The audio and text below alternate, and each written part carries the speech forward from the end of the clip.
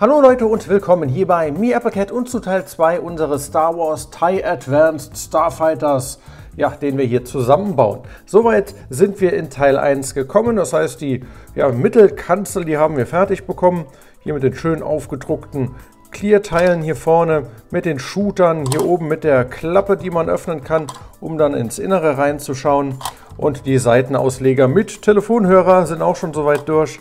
Die Rückseite ist fertig und wir sind quasi an dem Punkt hier stehen geblieben und jetzt wird hier mal ordentlich noch angebaut. Da wollen wir uns heute drum kümmern und wir legen hier in der Anleitung los auf Seite 8, was dann Baustep Nummer 2 wäre.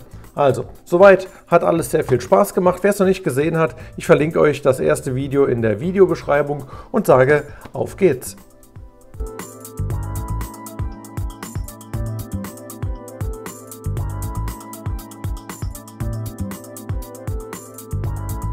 Jetzt wird hier aber mal in die Breite gebaut und das geht ratzfatz, da hier große Teile verbaut werden, wie zum Beispiel hier diese Technikrahmen, die werden hier mit den Pinnen zusammengesteckt. Einer, zwei, drei, vier, fünf, sechs und sieben und davor noch einer acht und dann geht das wirklich sehr, sehr schnell voran. Hier unten drunter wird alles dann mit Platten noch verkleidet, dass wir eine bessere Stabilität bekommen und hier kommen dann jetzt schon weitere Aufbauten mit dazu. Das hier sind alles diese abgeschrägten, ja, diese Slope-Steine oder wie man die nennen möchte, die hier unten drunter jetzt schon gesteckt wurden. Und natürlich gibt es wieder Haken, denn Haken sind ja eine ganz große Sache hier bei diesem Set. Also wollte ich euch mal kurz zeigen, jetzt geht es hier richtig flächenmäßig in die Breite. Wenn ich das mal hier vergleiche mit der Cockpit-Kanzel, die wir bisher gebaut haben, jo, ist etwa, ne, es ist gleich breit, ne, weil das ist wahrscheinlich auch das Teil, was dann da später dahinter kommt.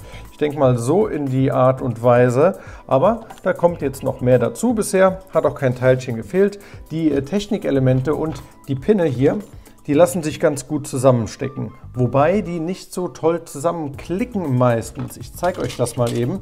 Hier haben wir nochmal so ein Technikteilchen und dann stecke ich da mal den Pin rein und wir hören mal genau hin. Ja, gut, bei dem war es jetzt einigermaßen okay. Der hat jetzt ein bisschen geklackt. Manche klacken gar nicht erst. Und dann hört sich das so ein bisschen nein, nicht so stabil an einfach. Aber das hält alles gut zusammen. Ich gucke mal hier noch ein anderes Löchlein mit der anderen Seite. Wir stecken das Ding zusammen. Und ja, da klackt es dann doch wieder. Okay, also passt soweit alles und die sind stabil, also die fallen hier nicht raus. Das heißt, wenn ich das jetzt nochmal hier rausholen möchte, oh Gott, da brauche ich schon beide Hände und bek ich bekomme es nicht mehr raus. Ah, komm schon. So, ihr seht, also da ist genug Halt drin. Das wollte ich euch damit mal kurz hier demonstrieren. Also, wir sind auf Seite 10 bei Bauabschnitt Nummer 9. So sieht es aus und jetzt wird hier noch weiter verkleidet mit Platten, Platten, Platten.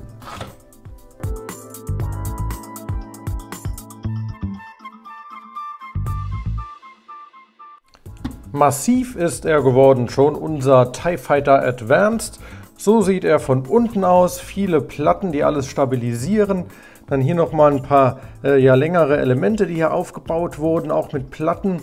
Und ganz interessant, hier dieser Abschluss, der wurde mit Fahnen gebaut. Kann man hier wunderbar sehen. Das waren ja diese Haken, die ich eben euch schon gezeigt habe. Haken, Haken, Haken. Hier haben wir also die Haken und da werden da diese ja, Fähnchen dann reingeklippt. Ganz einfach. Und dann einmal hier rumgedreht, ja, so rumgeklappt. Und somit bekommt man hier eine leicht keilförmige Form hin und eine relativ glatte Front. Man sollte es natürlich noch ein bisschen gerade schieben. So, dass es auch ordentlich aussieht. Schade ist, dass ich hier auf eine der Fähnchen hier so einen blöden Kratzer drauf habe. Könnte man natürlich einfach umdrehen, aber dann hat man hier diese Gussnasen unten drunter und das sieht auch nicht schön aus. Also habe ich mich hier lieber für den Kratzer entschieden. Aber ansonsten, ihr seht, das Teil ist schon groß. Es ist durch diese Bauweise, wo viele Platten übereinander gekommen sind, auch äh, sehr robust und stabil. Und die Oberseite, die wurde schon ein bisschen schick gemacht. Einmal hier mit diesen Platten, wo nur eine Reihe Noppen hier unten drin ist, äh, kenne ich so oft von, von den äh, Minifiguren, wo dann auch sowas dabei war. Dann haben wir hier diese abgeschrägten Platten. Hier nochmal eine Fliese, da eine 2x3er Fliese, nochmal so eine Platte. Und so wurde das dann hier verkleidet. Also ihr seht, da, da, wurde ganz viel hier mit Platten jetzt gearbeitet. Wir haben hier die Schichten mit den Bausteinen, unten Platten, oben Platten, bombenstabil. Und dann hier noch ein paar Verzierungen, natürlich wieder die Telefonhörer und ganz viele von diesen Haken. Ich gehe mal davon aus, dass hier später noch solche Stäbe reingeklippt werden, wie das ja auch ganz viel beim Millennium Falken der Fall war. Aber soweit, ja, nimmt das Teil deutlich an Formen an. Das hier ist bestimmt die Rückseite und der Bau macht Spaß. Bisher immer noch kein Fehlteil, toi toi toi. Und wir bauen dann mal weiter. Ich war jetzt hier auf Seite 14. Wir machen auf Seite 15 mit Bauschritt ach, 19 weiter. Ja, und da haben wir doch schon die Stäbe, die hier reingeklippt werden. Also wunderbar. Legen wir los und machen weiter.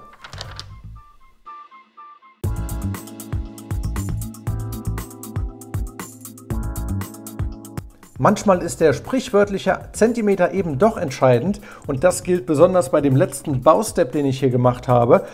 Viel ist nicht passiert. Wir haben hier ja massig Technikpinne reingedrückt, zehn Stück an der Zahl, hier zwei, hier zwei, da drei und da nochmal drei an der Seite. Aber was ich jetzt mit dem Zentimeter meine, ist hier bei diesen Verzierungen. Ihr seht, was hier alles so oben drauf noch gebaut wurde. Hier diese kleinen Fahnenteile, einmal in dunkelgrau, die hier dann so rumgebogen werden. Ja, sieht dann so aus, nett. So hat man eine interessante Form dann erreicht. Und dann wurden hier eben die besagten Stangen reingeklippt. Alles gut, die halten wunderbar. Und der entscheidende Zentimeter, der ist hier, denn ihr seht, hier habe ich auch so eine Stange reingeklippt und ja, da kommt sie nicht ganz bis zum nächsten äh, Haken dahin. Und ich habe extra nochmal genau nachgeschaut und verglichen, aber ich habe es so richtig gebaut. Und ihr seht, rund Telefonhörer zweimal, rund Telefonhörer zweimal. Haken, Haken. Dann hier oben Jumperplate, Verzierung, Jumperplate, Haken. Jumperplate, Verzierung, Jumperplate, Haken passt alles soweit. Und dann ja, soll der Spaß hier reingeklippt werden und zwar da und da und da und äh, ja, da eben nicht. Also hier passt es nicht. Äh, lang erklärt, äh, kurzer Sinn, passt nicht, aber ist ja kein großes Problemchen. Äh, ist wahrscheinlich einfach nur die falsche Größe dabei. Dann setze ich hier den Haken einfach eins tiefer und dann ist die Sache wieder okay. Zack, zack. So, und schon passt das Ganze und ihr werdet es keinem verraten, ich werde es keinem verraten und dann sieht die Sache wieder gut aus. Wobei, die Lücke sieht schon, na egal, passt auf jeden Fall. Ja, Soweit sind wir gekommen und damit wäre der Bereich hier auch schon fertig und kann verheiratet werden hier mit unserer Kommandokapsel und das geht jetzt folgendermaßen. Ihr seht ja hier die Technikpinne da und da und die werden einfach jetzt hier in die Seite reingeklippt. Einmal hier in die 2 und einmal da in die 2 und dann passt das oder sollte das Ganze passen. Ich habe es noch nicht ausprobiert, also machen wir es direkt mal. Und ich klippe hier zusammen, passt und passt. Ja, na wunderbar. Das war es doch schon. Also, jetzt haben wir einen großen Schritt hier nach vorne gemacht. Und das Teil, es ist bis auf die Klappe oben, seht ihr, robust und massiv. Das kann man überall anpacken. Alles wunderbar. Also unsere Kapsel, die hier mit vier Pinnen angesteckt wurde. Ja, sieht doch gut aus. Wunderbare Sache. Und dann hier das massive Mittelteil. Ja, nimmt Formen an. Also wenn ich mir jetzt noch dabei denke, ich zeige euch mal kurz das Bild nochmal auf der Anleitung, nur so zur Veranschaulichung. Ja, da kann man das schön sehen, wo wir jetzt sind. Wir haben jetzt also hier unsere Kapsel. So, und dann haben wir jetzt hier noch den hinteren Teil schon mal gebaut. Das ist dann da. Da sind wir in der Länge im Prinzip schon fertig. Hier vorne kommt noch ein bisschen Verzierungskram irgendwie später drauf. Und natürlich hier seitlich dann noch die Flügel. Und wenn die dann hinkommen, ja, das wird schon mal noch ordentlich an Masse dann zunehmen, das Set. Aber soweit alles wunderbar kein Fehlteil. Ups, naja gut, man kann es doch noch nicht ganz überall anpacken. Also hier ist mir jetzt ein Teil noch runtergeflogen, aber das wird mit Sicherheit später auch noch irgendwie stabilisiert. Dann ist ja noch relativ nackt alles hier unten drunter und äh, da wird schon noch ein bisschen was dazukommen. Ähm, was wollte ich sagen? Ah ja, hat alles soweit äh, Spaß gemacht, immer noch kein Fehlteil, toi toi toi. Und es war auch recht abwechslungsreich vom Bau. Also es hat Spaß gemacht zu bauen, muss ich sagen. Interessante Bautechniken, die man so heute von Lego gar nicht mehr so kennt, zumindest ich nicht. Äh, ja, so wurde wohl früher öfters gebaut. Dann merkt man auch, dass hier noch äh, Teile benutzt wurden oder dass hier oft äh, Lösungen gebaut wurden für Teile, die es mittlerweile gibt und wo jetzt anders gebaut wird. Eben weil das hier ein älteres Set ist und da gab es noch nicht all die Teile. Ja, macht auf jeden Fall riesig Spaß und jetzt werden wir wohl hier gleich an die Flügel kommen, beziehungsweise, ne, der Ständer, der wird jetzt hier bald mal gebaut werden. Ach klar, damit man auch ordentlich mal die Flügel anbauen kann. Also, dann geht es jetzt weiter.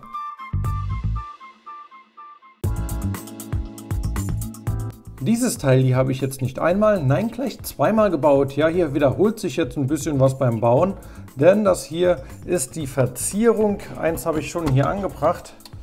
Hier vorne könnt ihr es sehen, ist dieses Verzierungselement, das jetzt hier von vorne so zu sehen ist. So, ich stelle es mal noch ein bisschen weiter an.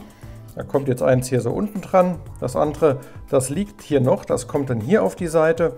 Und dann kommen auch jeweils noch hier oben welche dran. Und man sieht, das wird wieder mit den guten alten Haken hier alles festgehalten. Denn da, hier kann man es schlecht sehen, deswegen habe ich es noch nicht ganz fertig gebaut. Denn hier werden die einfach nur reingeklebt. Hier rechts und links, da sind die Befestigungen für die beiden Haken. Und dann kommt das Teil einfach hier drauf.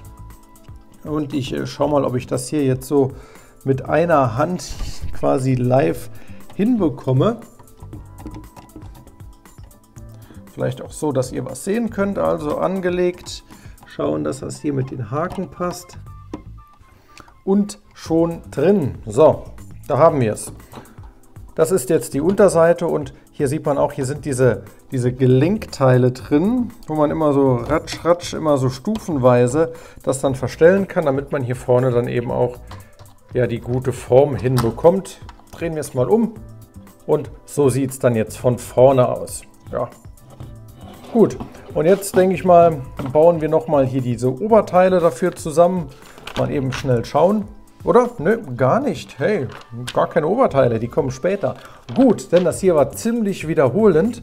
Jetzt kommt der Ständer und dann wird unser ja, Advanced TIE Fighter hier mal aufgebockt. Aber ist hier überhaupt schon die... Naja, ah hier, das hier wird die Aufnahme sein, denke ich, für den Ständer. Da wird er wohl reingesteckt werden. Ah, und hier.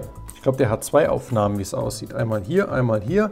Und das kommt dann hier und hier rein, damit er stabil steht. Sehr schön. Wunderbar. Also auf zum Ständerbau oder Standfußbau.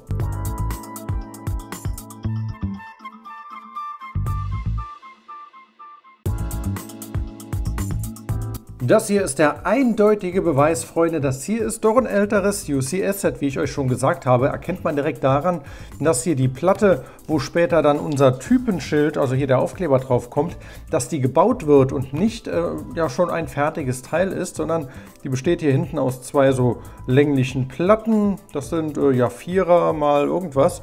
Auf jeden Fall länglichere Platten. Und die werden dann vorne komplett hier zugefliest mit diesen Langfliesen, den schwarzen. Und äh, na, ich bin mal gespannt, da sieht man bestimmt hinterher die Fugen ein bisschen durch. Und da kommt dann hier das Typenschild noch drauf. Klebe ich nachher in Ruhe und dann wäre der Bereich schon mal fertig.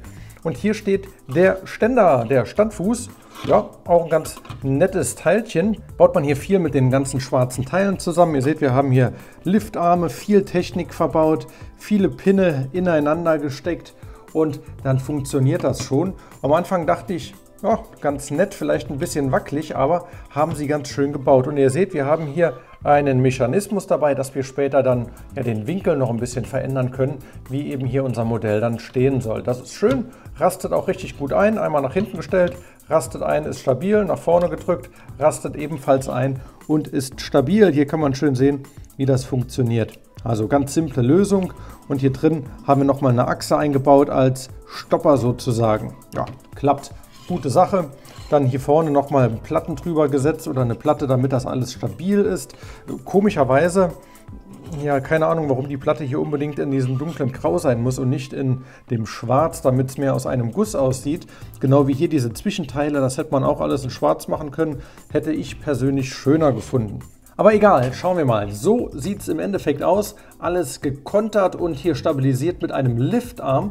Und auf der anderen Seite, so sieht es aus, bevor der Liftarm draufkommt. Also hier nur das Teil hier auf die Noppen gesteckt, auf die Noppen gesteckt, auf die Noppen gesteckt. Das würde natürlich im Leben niemals halten. Deswegen kommt dann hier noch so ein Liftarm drüber und dann ist das Ding stabil gebaut. Ja, und die Platte, die kommt hier am Ende einfach nur hier vorne noch mit drauf. Ups, so in etwa, genau. Und dann steht die Platte da noch dabei. Okay, dann mache ich mal noch flott hier den Liftarm drauf, Aufkleberchen und dann stellen wir unseren soweit schon fortgeschrittenen TIE Fighter mal auf seinen Standfuß. Da steht er schon und äh, ja, wie vermutet, hier kann man es ganz gut sehen, dass sich hier diese einzelnen Fliesen durch den Aufkleber abzeichnen. Also nicht so schön gelöst. Wäre schöner gewesen, äh, Leppin hätte direkt so eine richtige Platte beigelegt. Aber sie haben sich da mal stoisch an das alte Konzept von Lego gehalten. Und äh, ja, wird glaube ich im Laufe der Zeit nicht wirklich schöner werden. Außerdem habe ich ihn nicht perfekt gerade drauf bekommen. Aber wenn das Ding einmal klebt, abziehen ist nicht mehr, Freunde. Also ganz sorgfältig ausrichten, denn wenn es einmal klebt, dann könnt ihr auch, wenn es bisher nur zur Hälfte klebt, das Ding nicht mehr abziehen. Könnt ihr knicken. Tja, und wie gesagt, knicken können wir hier die Flugbahn von unserem oder die, die, die Ausrichtung von unserem TIE Fighter einmal so und einmal so in die aufrechte Position. Das funktioniert gut. Die Aufnahme dagegen, die ist ein bisschen schwierig. Ich versuche mal euch das zu zeigen. Dafür kibbel ich ihn mal. Und der wird einmal hier eingesteckt und einmal hier eingesteckt. Und das fand ich jetzt hier beim ersten Mal etwas hakelig, wenn ich ehrlich bin. Also das hat nicht so perfekt gut funktioniert. So einhändig kann man den hier äh, hören wir eben nicht schnell einstecken, würde ich sagen. Mal schauen. Ne, also es ist ein, ein wenig hakelig. Doch, jetzt habe ich, hab ich ihn drauf.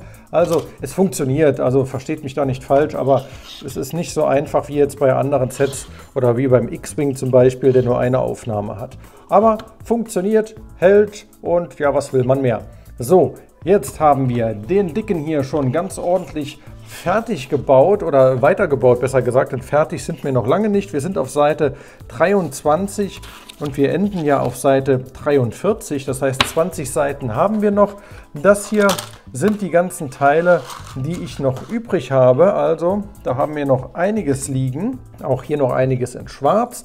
Und mal schauen, wir spicken noch mal kurz, ja, als nächstes werden die Teile gebaut, also die Gegenstücke zu denen hier, dass das hier oben nochmal drauf kommt und hier nochmal drauf kommt, zweimal das gleiche.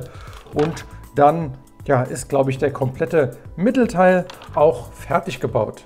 Aber das soll es für heute gewesen sein, Freunde. Weiter geht es in Teil 3 mit unserem UCS Star Wars Advanced TIE Fighter, dem Gefährt von Darth Vader, mit dem er hier Luke durch den Todesstern gejagt hat. Cooles Set soweit, finde ich, hat schöne Baulösungen und äh, macht wirklich Spaß. Ein paar Teile, äh, ja, die wiederholen sich jetzt natürlich, wie zum Beispiel hier die, die ich zweimal gebaut habe, die zweimal gebaut und die Flügel, die wird man auch zweimal bauen müssen.